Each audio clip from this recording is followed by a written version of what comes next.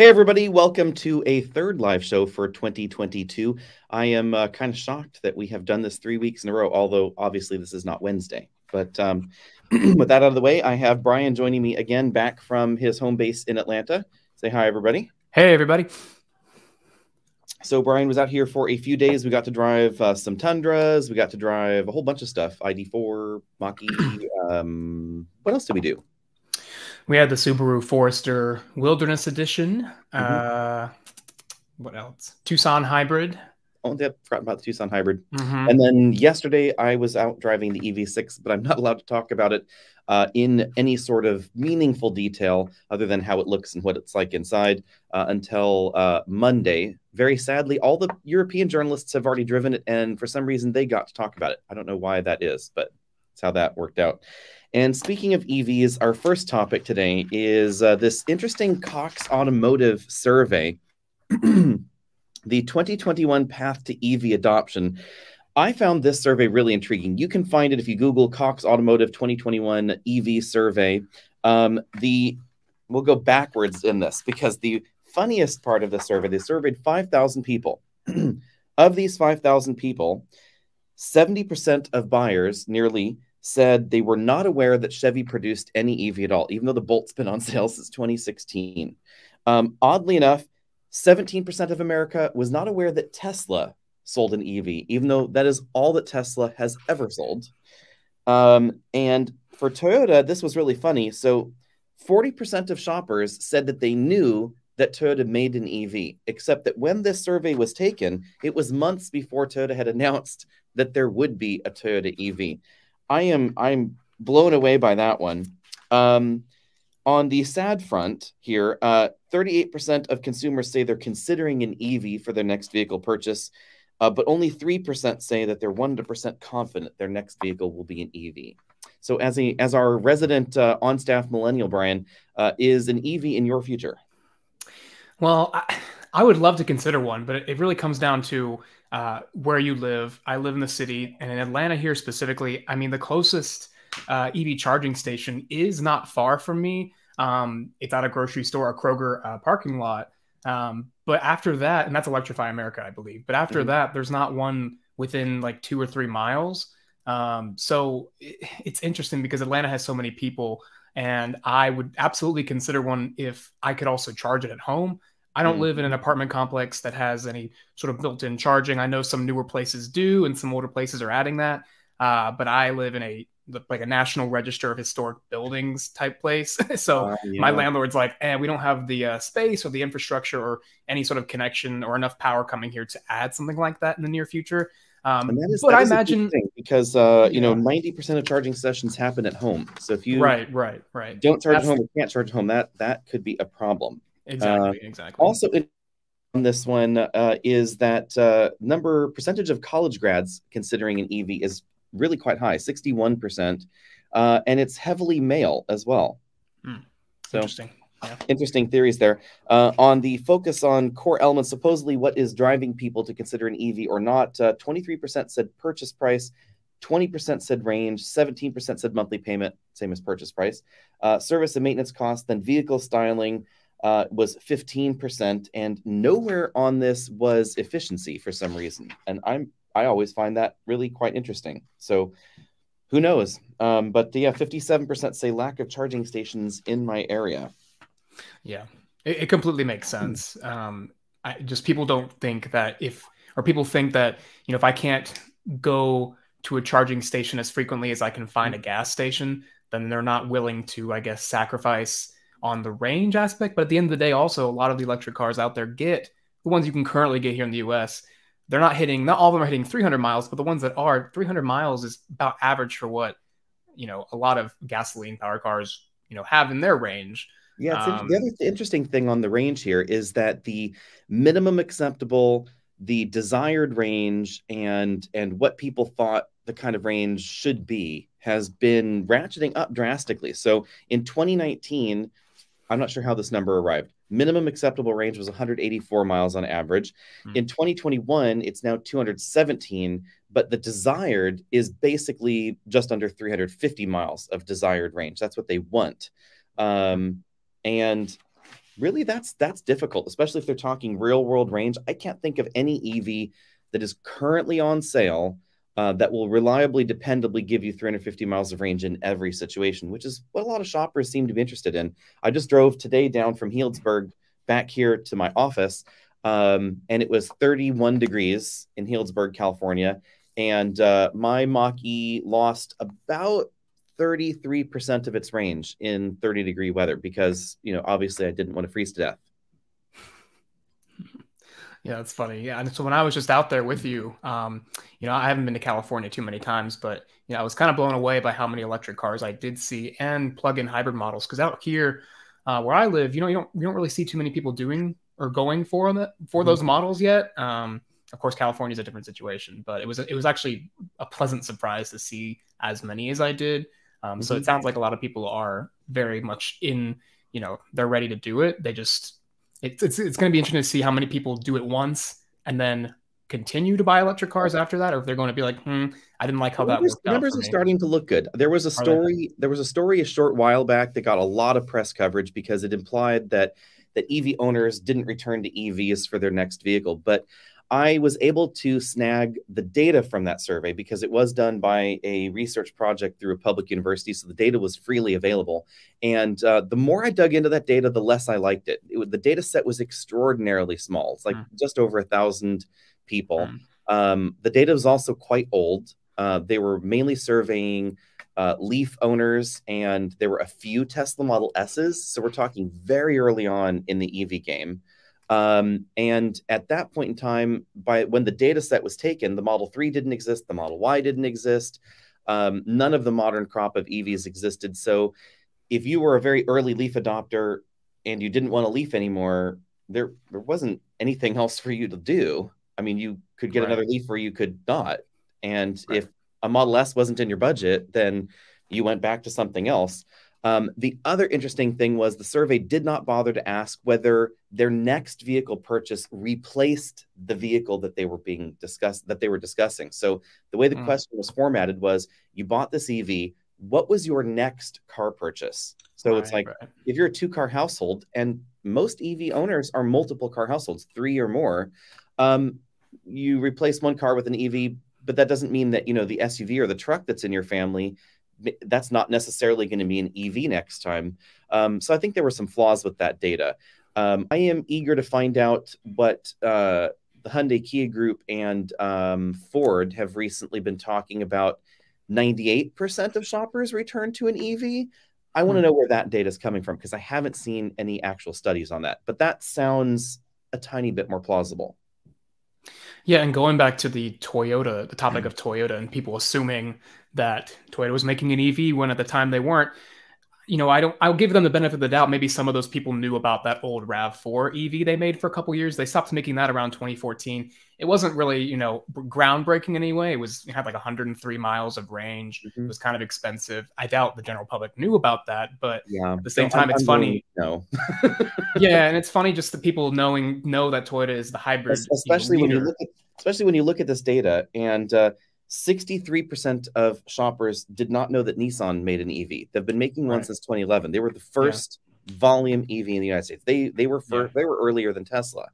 Uh, and 17% of people didn't know that Tesla made an EV when that is all Tesla has ever made. That's all they do. all they do. Yeah. Um, let's get to the first question here. Speaking of Toyota, uh, which is when are we going to talk about the Tundra Turbo wastegate problems? Um, this has been sort of anecdotal on forums, and I try and stay away from data that does not have uh, a, a wide data set from. Forums are where problems collect. You can find the most reliable car on earth will have a forum where problems collect.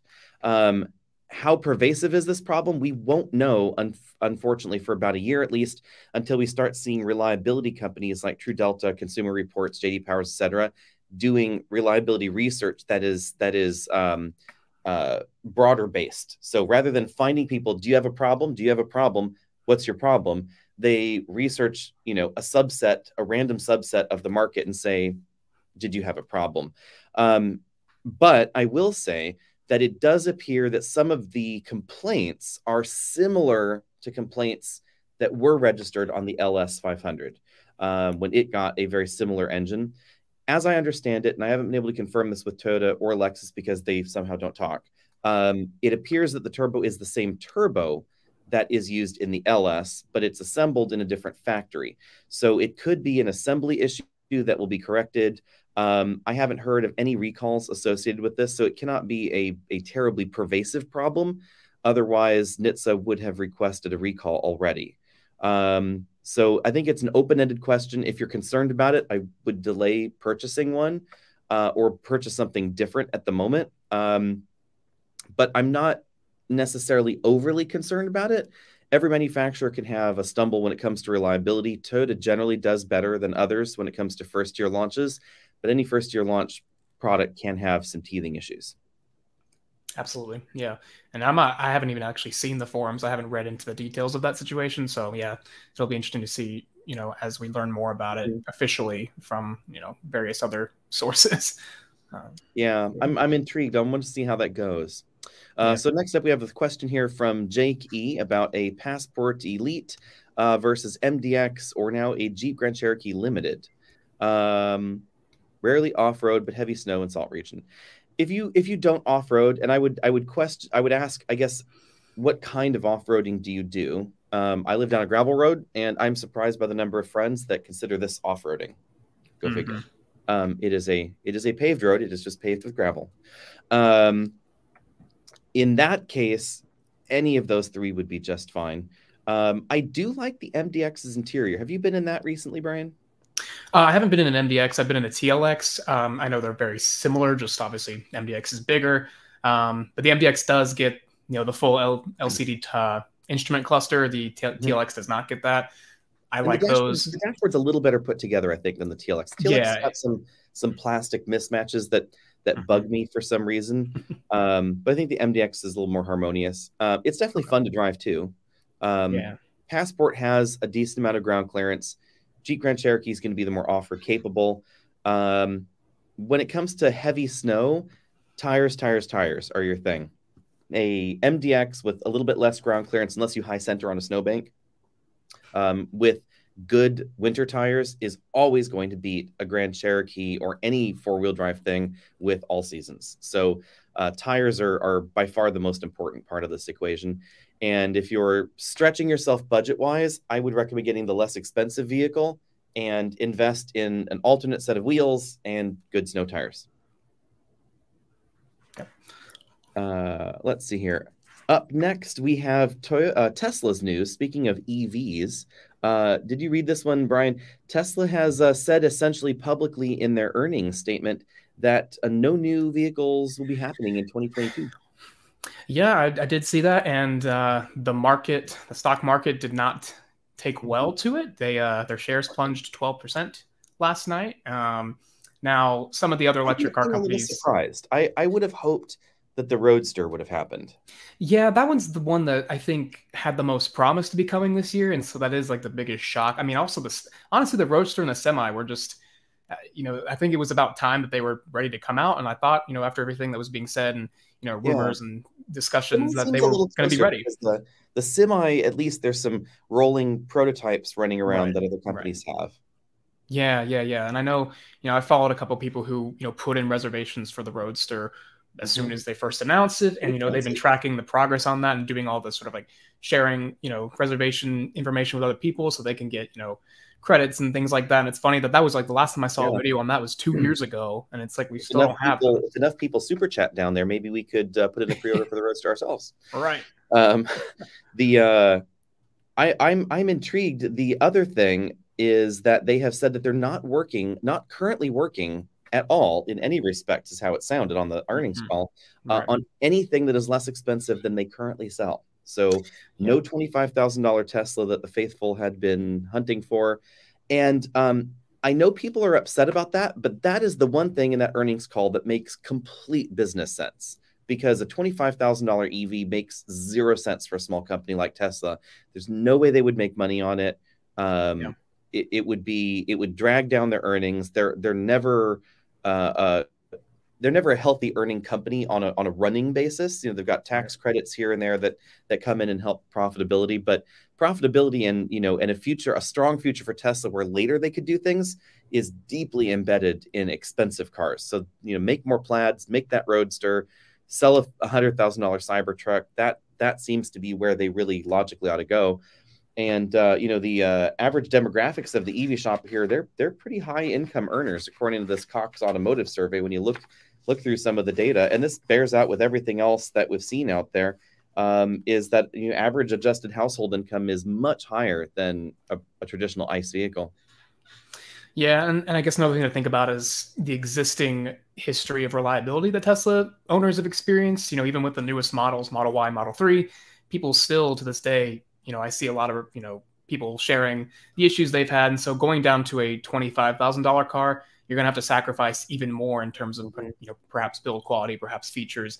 And yeah. Tesla's interiors are already pretty Spartan as it is. I mean, they're not, you know, the super the most luxurious things out there. So imagine a $25,000 version and yeah. even if they did come out with a twenty five thousand dollar version, it wouldn't be twenty five thousand for very long because oh sure, I mean it, just it will, you know. it will, happen eventually. It needs to happen, whether yeah. it's a good business case for Tesla to do now or next year. That is, I think, the bigger question. I'm, I'm sure an inexpensive EV that is a solid, decent EV with a twenty five thousand dollar price tag before tax credits, it's going to happen sometime. Mm-hmm. Just not soon. Every car company out there is is certainly focusing on the the fifty thousand dollar segment right now because that's where that's where the shopper is and that's where the profits are likely to be. Right, it's a sweet spot. Yeah, yeah sweet spot, and that's that's EV6, which we should also talk about. So mm-hmm. I was able to drive EV6, and it is interesting um, having EV6 and uh, Mach E parked right next to each other. Um, I think if I can uh, hunt around, I can actually find this picture of them uh, they're almost exactly the same length on the outside. Um, eh, the EV6 looks a lot smaller in some photos, but they are very, very similarly sized in reality. And uh, their interior practicality, though, is quite different. Yeah, yeah. Yeah, so did you get a chance to sort of you know sit around the back seat a lot because you know the EV6 has more of a sloping or I guess raked roof line. Doesn't have the full panoramic, you know, glass roof. It does have that moonroof that opens, which mm-hmm. you know opens or larger. You know, you have to decide which one you like better. But the Ioniq Five is definitely just a boxier shape. Um, so I'm curious to see did you did you get a mm-hmm. chance to sort of compare the two based on your memory of the Ioniq Five? Uh, I did. I did. The Ioniq Five is definitely much squarer. Um, mm-hmm. The Ioniq Five is an interesting one because it's it's shorter in terms of vehicle length, has a mm-hmm. longer wheelbase, and the roof line is a little bit taller. The okay. EV6, as you can see in this photo here, uh, oddly, I, I, was really intrigued by this combo. And so I, I shot a video on it while I was there um, because there are a lot of commonalities between, in terms of design, between the Mach E and the EV6. They're both trying to be sporty. They're both trying to be this sort of um, crossovery sedan thing. Um, and both have their own takes on modernity versus a a nod to the past. And um, the big differences with these vehicles are cargo room and front trunk uh, are, are, you know the easy things to, to obviously know. Um, the hood on it doesn't look like it in this photo because the EV6 is is maybe about 15 feet in front of the Mach-E. Um, they are actually the same length. The EV6 is higher off the ground, but the roof line is lower, so seating position is much more reclined. Um, the front hood is considerably shorter in terms of length than the Mach-E, and it's the front is about eight inches lower to the ground. So that's why there's no front cargo area in there. They wanted it to look very futuristic, etc., rather than looking like a traditional car, which has a long hood. They wanted that really short hood thing. Um, but the cargo area is quite a bit smaller. It's like uh, 24 cubic feet versus about 30 cubic feet combined in the Mustang. Mm. Okay. Yeah, and that's that's that's, that's definitely smaller than an ID4 too, I believe. Yeah. It's a little bit smaller than the ID4, but it has mm-hmm. more legroom than the ID4. Um, the glass roof opens and it handles much. Well, I can't actually tell you about that. That's, much something. Sorry. I will. I will paint a picture for you. It's got 255 with tires from the factory. Hmm. Okay. Um, if you get the lower end versions, 235 with tires, and it's 200 pounds lighter at least than the Mach E. Hmm. Okay. Yeah. The bad part is uh, interior space. It doesn't feel as roomy as the Mach-E or the Model Y. Mach-E and Model Y are very similarly shaped inside, and uh, it's hard to tell in this photo. But when you look at the greenhouse, it really is. It it has a very uh, very bell shaped pro side uh, front profile to it with really aggressive wide hip look um, for the big meaty tires and and then a very narrow greenhouse on top and then it curves in towards the back for aerodynamics so sitting in the driver's seat um, the the the you know oh shit handle is extraordinarily close to my head um, so it, the interior feels a lot tighter hmm. And then, you know, as you said, the configuration is a lot different. You know, the ID or the mm-hmm. Ioniq 5 gives you sort of the, the more lounge like setup with things mm-hmm. that can slide around and move and have footrests. Did the EV6 have any of those same things inside? The EV6 has a max recline seat, um, but okay. no ottoman. I actually mm-hmm. didn't okay. find the ottoman too useful in the Ioniq 5. Hmm. Um, the max recline seat I liked, but sure. the Ioniq, the ottoman part just kind of hit me in a weird spot. And you, you can't really stretch out long enough with the dashboard where it is to make good use of it. So I'm I'm fine with that part not being included. Hmm. Okay. So uh, let's see here. Concerned citizen is asking us for opinions on the Elantra N and the Alfa Romeo Tonale. I'll let you handle the Elantra N since you are already sure. an, an, owner. I am. So yeah, I currently drive a Veloster N. It's a so it's a 2019, and it was the base model at the time that didn't have the performance package. Now all the N models have everything that performance package included. So mine is going to be a little bit different if I were to compare it to that Veloster N that I have. But I have driven the, the Elantra N. Um, for me, what blew me away was how solid and almost not luxurious per se, because it's obviously still Hyundai at the end of the day, but the interior design of the Elantra in general is it's much more driver focused. It's much more tech focused. It's something that the interior alone is something I would use as a consideration for upgrading to the Elantra. And now the exterior, to each their own. It has it has design elements that I know some people don't like, and then areas that people do like. Specifically, the front grille with with all the black that they did. Um, they could have toned that back a little bit, I think, but overall, it drives so well. And the DCT, of course, you know, the new automatic that they use, um, it's just lightning quick. It's it's it's yeah. actually shockingly good. I like the fact that Hyundai has has gone the Volkswagen route and offered the mm-hmm. DCT, whereas yep. as Honda is more focused no on sign. purity but yeah. it, but it means that it's a little bit less likely to be accepted by someone that says, you know, I really want a manual, but maybe in stop and go traffic it's less practical. Right. So Hyundai gives you that option. On the Alfa Romeo Tonale, uh, that will be uh, announced officially on February 8th. So there are a lot of renderings going on around uh, mm-hmm. the world right now.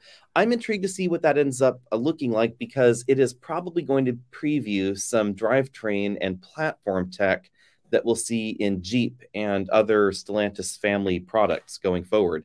So lots of rumors on that, but not a lot of detail. Well, they uh, did actually just yesterday or two days ago. Alfa released a you know an official teaser of the front yep, end. So there's a picture, picture out there. Yeah, it's very. Yep. You can't see too much. You can see the LAT signature lights and of course the mm-hmm. traditional triangle grill. Um, yeah, but from what I've seen in terms has of a, has a render now of it, what it should mm-hmm. look like. yeah, yeah. Now everything I've seen of it the production version that's been spied testing around. Uh, there's there's some elements that look a little different from the concept, and of course mm-hmm. it's a concept car, and it was a little bit sportier than what I think this is going to look like. But at the end of the day, I mean, it it's probably going to turn out really good because of course we know the uh, uh, Stelvio is a fantastic driver's car, so if that's important mm-hmm. to you, mm-hmm. it's probably going to be that and just a lighter, smaller package. But we'll have to see. Rumor mill says it's going to be front wheel drive. Okay, yeah, yeah, I forgot about so, that. Uh, we'll see. Well, again, just rumors. We have nothing official, but it looks like right. it's probably going to be the platform that is likely going to at some point spread to like Jeep Compass, Jeep Cherokee, maybe at mm-hmm. some point in the future. Right. So Brian, another Brian here is looking for a simple car for seven-year-old mom. What do you think about Corolla Hatch or Corolla Cross? I would lean towards Corolla Cross um, mm-hmm. because it's it's a little bit more crossover shaped, so the hip point is going to be a little bit higher. It's going to be easier to get in and out, and the doors are slightly taller. Um, so unless your mom is, you know, quite short, um, my mom, my mom is like five one, so you know, on a good day. So, but even she would probably do better in a Corolla Cross, I think, just as far as ease of getting in and out um, than the Corolla Hatch. Yeah, and the Corolla Hatch is interior space wise on the smaller side for its class. It so if, if she's looking for you know room to actually haul things or just carry things around or pick up items from Costco or just larger items, it, the Cross is definitely going to be the way to, the way to go. And I actually I really like how instead of giving it the Corolla's front end, they gave it more of the Rav4's front Yeah. end design. I think it's prettier too. Yeah, overall, I think it's a little bit Mhm. more of a I don't know Mhm. appealing design on the outside. Now the interior is the dashboard and everything is almost you know not not 100 percent but 90 percent straight out of the Corolla, um, which Mhm. is a good starting point. It's when it came out, it was you know a, a- you know applauded for having decent materials that are and Yeah. the design itself is unique. So I think you can't go wrong with that part of it. Yeah, and if you're wanting to save a little bit on fuel, there should be a Corolla Cross hybrid coming soon, but no details just yet. It's been long rumored. It's been all but confirmed by the Toyota people. They sort of wink, wink, and say, you know, we can't talk about anything in the future, um, Right. but it's it's basically coming. Uh, Elliot is asking why companies are moving away from physical buttons and door handles. Um, this is an interesting thing. So on the door handle front, the motion away from door handles has a lot to do with aero. So the the more aerodynamic the shape of the vehicle can be, uh, the better off you are, especially with an EV. Remember that in an electric car, um, aero is everything, especially for highway range. And that tiny little bit that is affected by a door handle, you know, might give you one mile on your range longer. And so they're willing to do all of that for for range. Um, it is interesting when you think about this, though. Like aerodynamics in a Mach E or this new EV6, if that was a traditional hybrid vehicle, they probably would be getting very Prius-like mileage for their format because um, it, they're actually arguably more aerodynamic than a Prius uh, in the way that they're they're shaped and styled, etc. Um, on the physical button things, I am told, according to designers, that this is based on customer preference. That customers like the clean um, touch button look. They're used to iPads and iPhones and Android tablets, etc. And so they claim, at any rate, that this is focus group derived, derived. Yeah, yeah. I I've actually, you know, asked people about this before and done my own little surveying on it. And especially people younger, closer to my age, uh, they, you know, we grew up with technology that's very touch based. And so I think it sort of comes natural to Mhm. people who are a little bit younger. Um, so that might be a driving factor for that. Um, also, but in terms to clean. It is easier to clean. Um, Um, and it probably costs a little bit less for the manufacturer to have, for example, one panel instead of This is an interesting different- question. Not Mhm. necessarily. So Oh, it is it not? depends on how yeah, it depends on how the touch buttons are done. So if the touch button has a physical element in it or haptic feedback like we find in Okay, yeah. Volkswagen products, then it's Mhm. more expensive than a traditional button. If The it's a touchpad that does not have either, like the buttons that Honda was using on the dashboard in some products a while back, then it's less expensive. So it just Mhm. depends on the touch button. Yeah, And and, in my experience, I don't hate them as. I mean, there's Yeah. some that are less responsive than others, but I, It doesn't don't bother really me mind too much. In the EV6, I did the EV6 is definitely one of those ones that's more expensive than physical buttons because they Mm, not yeah. only have the touch buttons, but they also have an LCD that is integrated into the touch button bank with you know various uh, icons that change, and you can swap it Yep. from climate control to audio and navigation. And uh, that is a little bit touchy because it's where some of the buttons are located. And if you're trying to go for the knobs, they they left two physical knobs, and one is for uh, the right and left climate control zone or tuning and power and volume. And if you accidentally touch any of the touch buttons around it as you're grabbing the knob, it can change modes. So that is a little bit tricky there. Yeah, I can imagine that's a little bit. Uh, well, could be annoying if, because if you're in the climate setting and you go to turn it thinking you're going to do the volume, you're going to end up Mhm. turning the fan or Yeah. you know the fan or the temperature, um, and vice versa. So that could. Yeah. I mean, once you're an owner of those cars, I'm sure you would figure that out. Yeah. But I mean, know, there are first- there are egregious touch button issues examples out there, like the first Honda uh, touch dials on the steering wheel, where the volume slider was there, and every time you turned the steering wheel in a city kind of parking maneuver, you were Yeah. moving the volume way up or way down. That was awful, and they thankfully killed it. Uh, Yep. Vic is asking here, how do we feel about the ID Buzz? Uh, the if you haven't seen these details, everyone, I encourage you to Google the leaked images for ID Buzz, which have already popped out. The Yes. interior looks like a large version of the ID4. So the dashboard, steering wheel, etc., very, very ID4. And the second row is more crossover than minivan. Yeah, so if you actually go to alexonautos.com, I did write There we go. a daily post about it. So I've got the pictures and I've linked the source to them. Um, yeah, it's obviously it's going to be sort of every ID model is going to have that same interior design theme, and it's it's very colorful. It's it's uh you know it's it's it's cheerful. It's sort of got bright colors, and I'm wondering if because the one we saw or the pictures that you'll see if you look at the, the particular mm-hmm. pictures we're talking about, it had orange panels on the inside, and I'm wondering yeah, if they're going to yeah. pull if they're going to pull an FJ Cruiser and make those panels match the exterior color because obviously it was camouflage. It is know. supposed to be a cute, fun, modern bus mm-hmm. thing.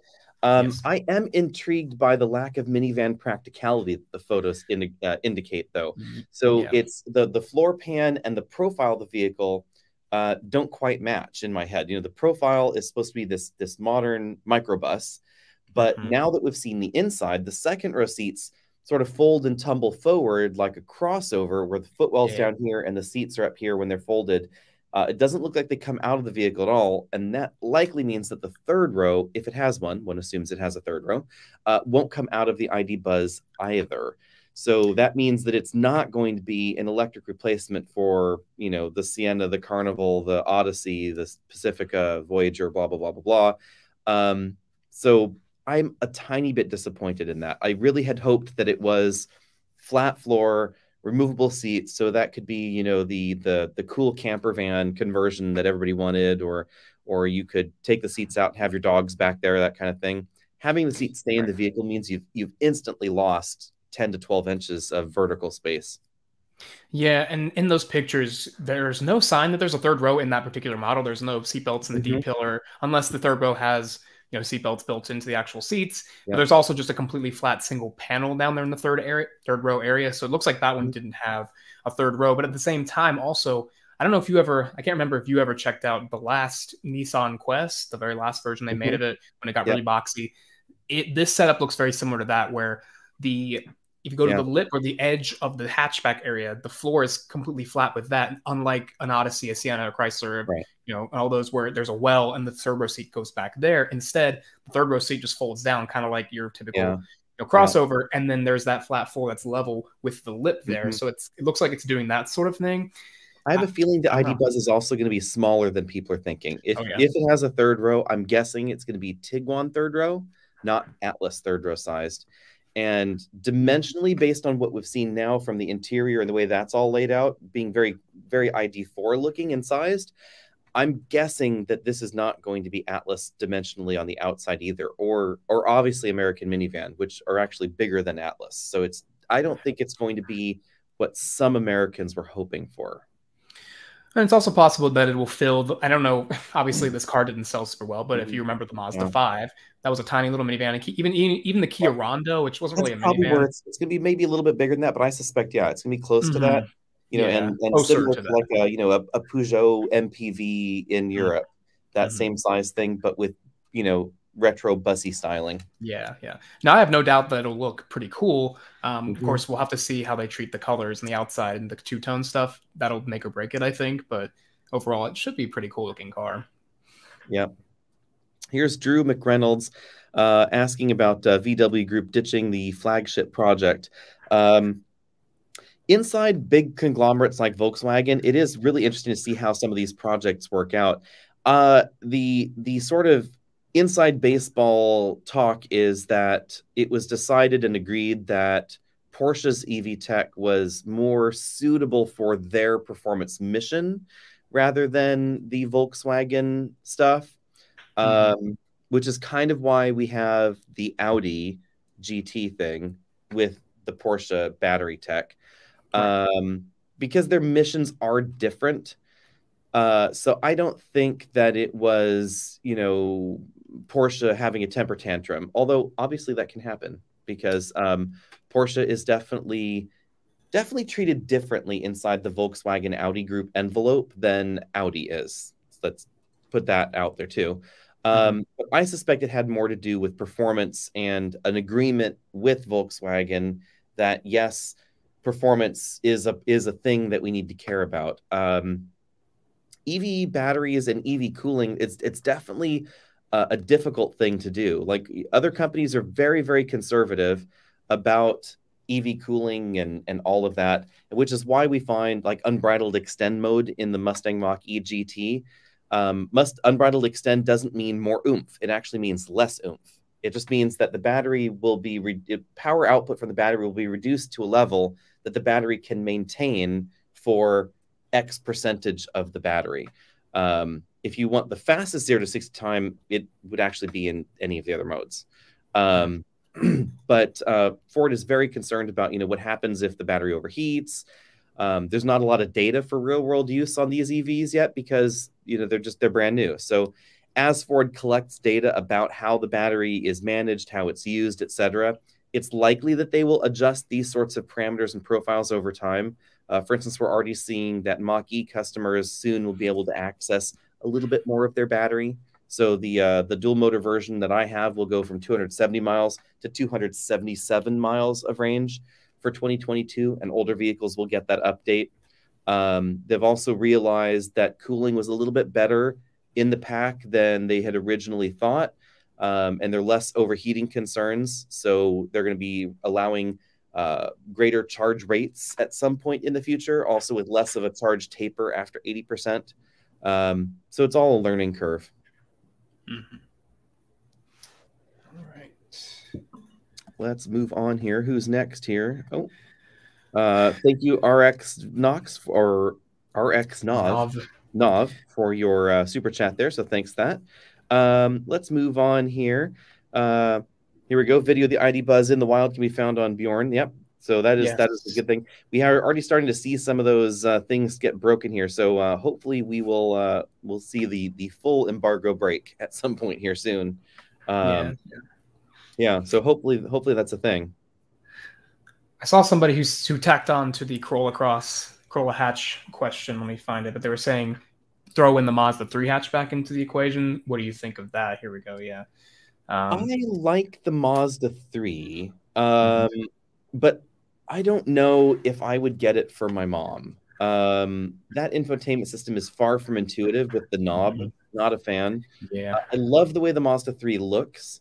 Um, but I would probably say CX5 or upcoming CX50 would be a little bit better for someone that might have mobility issues a little bit later. If you're thinking this person's going to hang on to the car till they're 80, um, think about how they can how well they can get in and out now versus how well they might be able to get in and out later. And again a lot of this depends on the size of person. So if this is a shorter person then a more traditional hatchback might be more appropriate.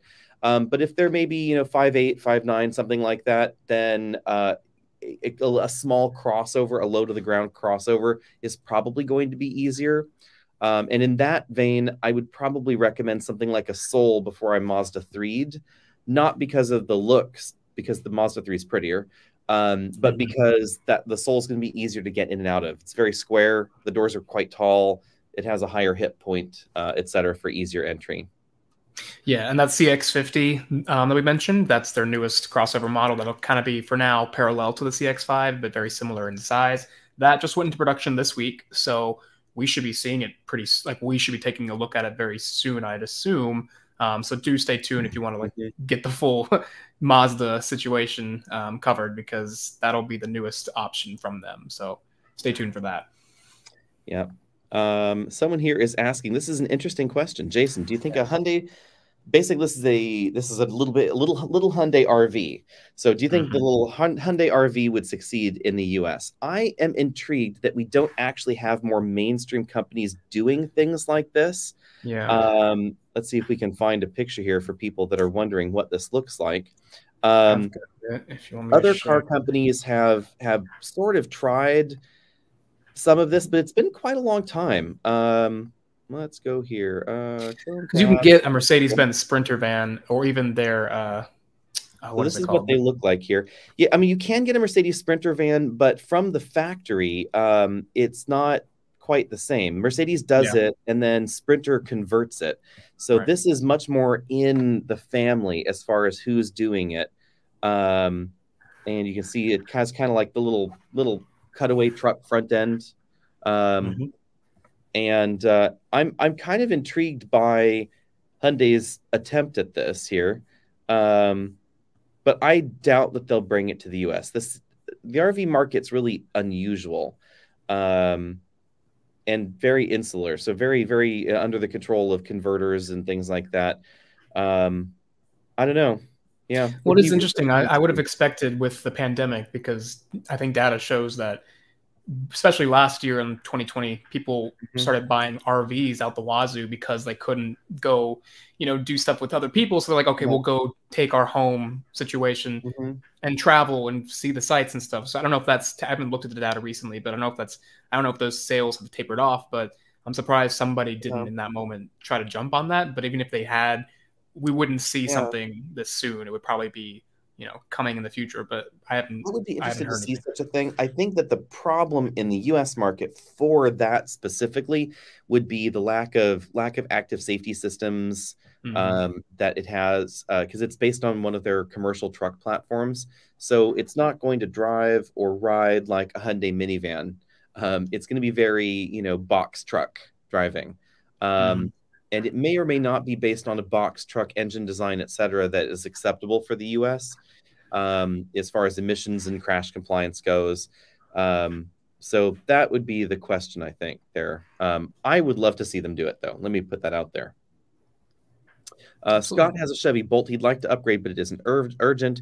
Is there EV tech coming out that is worth waiting for? Ioniq 5 is tempting. Um, I would say if you are concerned about DC fast charging at all, then I would buy an 800 volt based EV for my next EV. Um, yeah. That's that's probably the biggest, most important update versus your Bolt. Range on the Bolt is pretty decent, actually. It's over 200 miles if you treat it nicely, which is usually uh, within the realm of what most shoppers are after. You'll get a little bit more range in the newer EVs, but the faster charging is the bigger thing. Um, you know, Chevy Bolt, if you really want to drain the battery all the way, charge it all the way full, it's going to take, you know, uh, a little more than an hour uh, to do that at a 50 kW station. If you had an Ioniq 5 and you want to go from completely empty to completely full, it's like 28 minutes, something like that, 25 minutes. It's very, very short. And the 10 to 80% range, that 70% battery fill is only 18 minutes. It's much, much faster. Um, and that that charge window gets you further too especially if you're taking mm-hmm. a look at the rear wheel drive Ioniq 5 or the rear wheel drive EV6. The EV6 is is swoopier. That really low front end and the tighter body is what gets it to 310 miles of range. Um, so yep. it's it's that's definitely going to be a thing. Um, Tesla has not decided to join the 800 volt bandwagon because this would be a major investment for them in battery tech, in onboard conversion, and in station design but I would assume it's going to happen at some point later because in order for Tesla's average charge rate to go to the next level, they're going to need to go to an 800 volt system. Um, they do very, very well for a 400 volt system. Obvi- the fastest 400 volt charging vehicles available, um, but it's likely because of the 400 volt design uh, that they cannot maintain a, a fast charge rate for as long. So when yeah. you look at average charge rate, how the average average kilowatt charge rate from 10% to 80%, there are several EVs now that will charge faster on average in that window than a Model 3 or Model Y. Yeah, and there's a video I recommend you check out. Um, it's Matt Watson at Carwow, who's over in the UK. He mm-hmm. does a test of, um, he basically drives all the current crop of EVs until they completely run out of juice. And um, of course, there are some models in there that we're not getting here, and the specs and you know how they do things with the electric cars over there is a little different, but it might give you a good idea in terms of range on these models that we're getting. Um, and I won't spoil which one wins, but it's one of the two Hyundai Kia group cars. So that one's a cool video to watch if you're interested. Um, now, since Alex and I just looked at the Sequoia and the Tundra in person, and we've uh, gotten a close look at them, I know this is the issue of the day: is why Toyota didn't give the Sequoia that same brake handle mustache situation that the Tundra has, which for me personally, I didn't, especially in certain grades when you see it on like the capstone or some of the other trims, it doesn't show up as prominently based on if it's chrome or if it's body colored. Um, but I do agree the Tundra's treatment is a little bit, I don't know, I don't know the best word for it. It's not classy or anything. It's just it works a little bit better in terms of closing off that bottom of the grill. I don't know, Alex. Yeah. What do you think? Yeah, I think I like the Sequoias look a lot better. It is sort of a blend of of Rav4 and Highlander with the Tundra, and the the pork chop, you know, look is not my thing on the Tundra. But I will say the capstone looks a lot better because the capstone still has the same grill, but it doesn't have the funky chrome sad face around it. Um, but I do think that you could put the Sequoia's front end on the Tundra because the hood and the fenders are the same and the front suspension is essentially the same. So I would be interested to see if there are any conversion kits out there at some point to put a new nose on your Tundra. Um, that would be that would be an interesting twist. Yeah, yeah. Uh, this is a good question here on EV charging. Um, when will we see wireless PHEV or EV charging like BMW's done with the or Speedtail? Um, there's a good reason for for not seeing this, and I, if I were a betting person, I would say either never or only in very limited instances is this ever going to happen. Two big reasons for that. The first one is weight. So having a huge inductive charging coil on the car is going to weigh more, uh, and weight is the enemy of efficiency. It's the enemy of range, etc. Um, positioning that in the vehicle, having more than one coil so you can drive over things, that is that gets a little tricky, especially for higher charge rates. Inductive charging works okay if we're talking about, you know, an iWatch or a smartphone, things like that, where we're not talking about a lot of power. But in a car where we're talking six, seven, eight, nine kilowatts, this is this is a lot of power, um, and we're talking about a lot of loss and a lot of heat that has to be rejected. So these these loops wouldn't just be static loops. Most likely, they would have to be liquid cooled loops. So you have additional weight from the liquid cooling. Um, and you have the fact that charging efficiency through wireless systems is, is, generally speaking, they're working on this, but is generally speaking around 85% efficient. So, you know, again, if you're charging your iPhone and you have to waste 15% of the energy to pack it in your iPhone, it's not a big deal. It's not a lot of energy that you pack in your phone uh, or your tablet computer or whatever. But if we're talking about charging a car that's got a 100 kilowatt battery, 100 kilowatt hour battery, this is a lot of, of wasted power. Uh, it's a lot less efficient than simply plugging the vehicle in. Um, safety wise, it should be safer because you could have sealed coils, etc., and that shouldn't really be a problem. Um, relative efficiency changes based on where the coil is located. So you want you need your coils to be very close together, perfectly aligned is the other problem too. So now we're talking about a coil that's on the vehicle that is either stationary with the coil in the parking spot that's moved that has to move to find it etc so as far as complications go there are quite a lot of them. And the easy simple answer is just plug it in unfortunately. Well so actually alex uh Hyundai is working on this. The, the GV60, the Genesis yep. GV60 will be the first model, the first electric model to get wireless charging. There's a company called Witricity. Not in the US. but not in the US, only South South Korea. Yes. But this GV60 is coming here, and it's the 1st mm-hmm. model that we know of that's yep. coming here that even gets it at all. So there's potential it's coming here, but probably not for a while. But South Korea will get it first.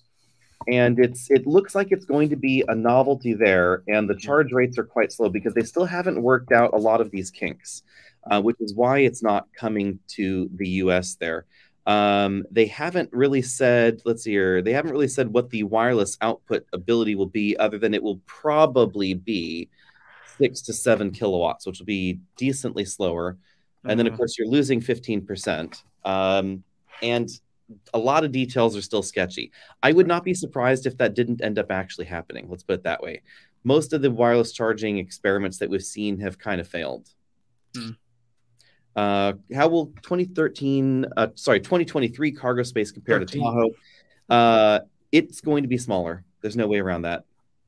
Uh, no independent suspension, battery pack between the third row and the frame. Uh, cargo area will be smaller. Yep. Uh, let's see here. Best three row full size SUV in America, other than the hundred thousand dollar vehicles. Oh, this is an interesting one. Um, I would say it's hard to go wrong with the General Motors triplets. Mm-hmm. Yeah. Um, really, they're all pretty good now. I mean, before the current generation, I would have said it would be harder to pick a clear winner, but the current mm-hmm. Expedition and yeah, the current GM um, triplets, um, even if you get into, especially if you get into like the lower level, uh, yeah. you know, Escalades that aren't aren't over a hundred thousand dollars. I, I feel like that's not what you're trying to group in here, but of those lower models, mm-hmm.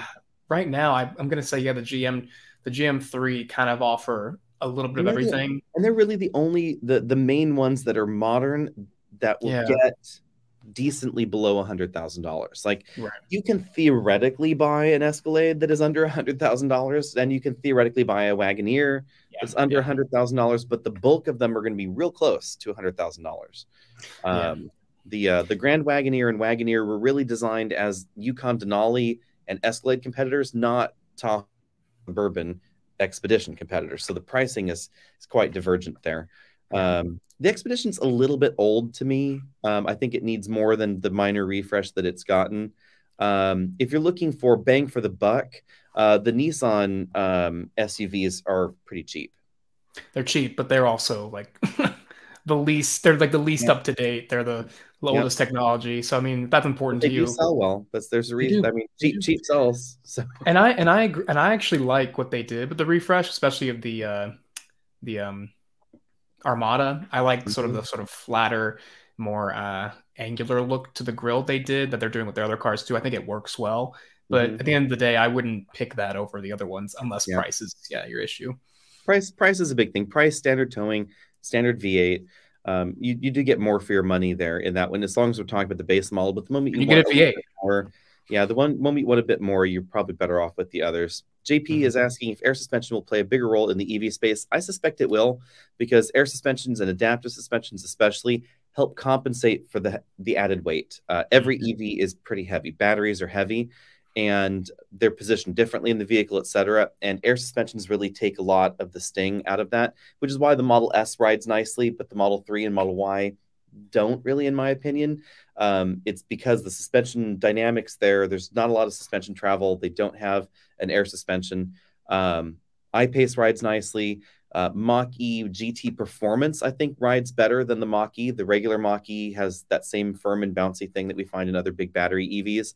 And the only solutions are adaptive suspensions or more suspension travel. It's like ID4 rides very nicely because it's much higher off the ground. There's a lot more suspension travel to damp the motions um, or lose weight. That's the other option. Um, MX30 rides nicely because it's fairly light.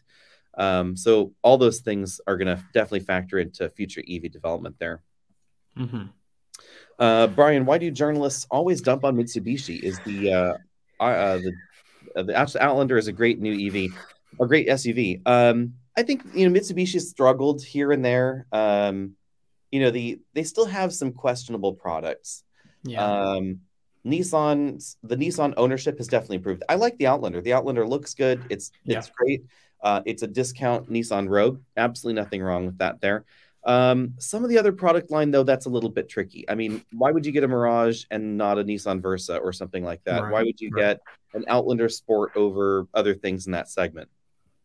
And you know, say what you will about the name, but the Eclipse Cross is actually you know not the worst thing you could get out there. I mean, it's a unique mm-hmm. design. I see quite a few around, uh, and the refresh it just got mm-hmm. has a much improved interior. With they got, they yeah. they tried to copy the Lexus, the old Lexus NX with its interior. It looks mm-hmm. like ripped straight out of an NX, and it had the same sort of touchpad.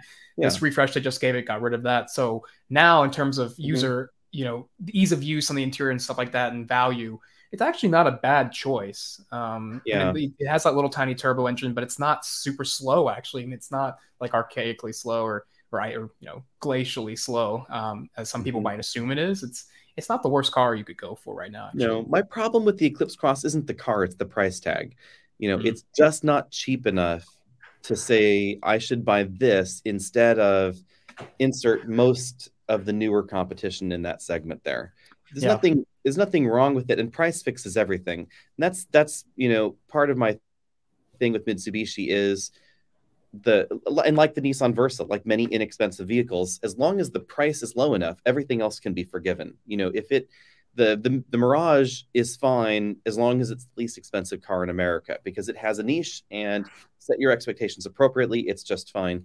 In the middle group of things where we have the outlander sport and the and the eclipse cross that's where things get trickier because you know why would you buy an Eclipse Cross over uh, a Kona or a Seltos or honestly a Chevy Trailblazer? I think the Trailblazer is yep. is better and it's less expensive than the Eclipse Cross. Now, Consumer Reports actually just recently uh, put out a or just they they um, did a survey, or they do this survey, I guess, every year. But they mm-hmm. the Toyota CHR, which is a, an Eclipse Cross competitor, is the number one you know, it's the top of the list for cars owners regret buying. So mm-hmm. that's interesting because it's a Toyota and it's got all the typical uh, Toyota aspects of it. But it mm-hmm. sounds like you know the Eclipse Cross didn't make that list, or at least at that high. Um, I don't so think there's enough data on Eclipse Cross. Uh, Consumer Yeah. Reports the the pool of vehicles pulled for them has been shrinking and shrinking and shrinking over time. It's it's about a quarter million vehicles less than it was about a decade ago. Um, and so there's not a lot of data on a lot of models. That's that's an important thing, um, especially a lot of American models or or smaller brands.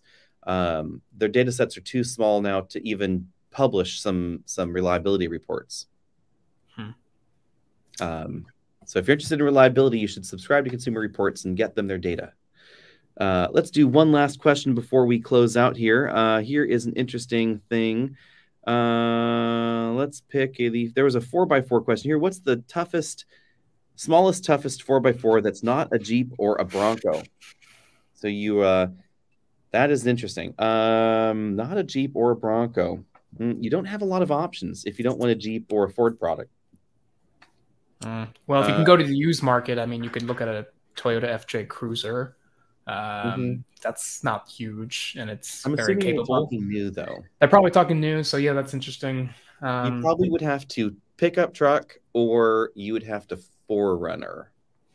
yeah, because the Rav Four, even if it even in its uh, adventure trim or TRD off road or TRD um, trims, Yeah, they don't get a full there. four wheel drive system. Yeah, Especially don't if they're not asking Bronco. I'm assuming if they're talking Bronco, they're talking Bronco Bronco and Jeep would be Wrangler. So in, Right. in this construct, there's nothing nothing equivalent outside of a small pickup truck, a mid-sized pickup truck, or a 4Runner that would be affordable in this way. Yeah. Yeah. I mean, maybe the Suzuki Jimny can come to the US at some point and be an adorable little baby Wrangler at some point, but that is not an Right. option at the moment, sadly. Well, yeah, yep. Suzuki's All bye right. bye.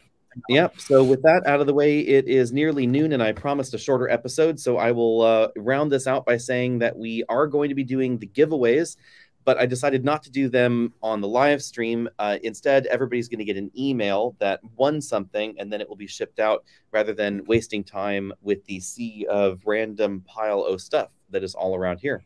Uh, so with that out of the way, be sure and stay tuned. There probably will not be a live show next week because I will be traveling all next week but uh, there will be a bunch of videos coming up. So be sure and hit that subscribe button if you haven't already done so. Hit the notifications button, make sure that's active. Uh, there is the full review of the EV6. There's EV6 versus Mach E. There is ID4 all wheel drive. Uh, and there is Tucson Hybrid. And all of those are coming up soon. And Forester, I guess. Yeah. And Forester. Yes, Forester Wilderness is in there somewhere. So uh, Yep. we'll see all of you a little bit later, two weeks. I promise.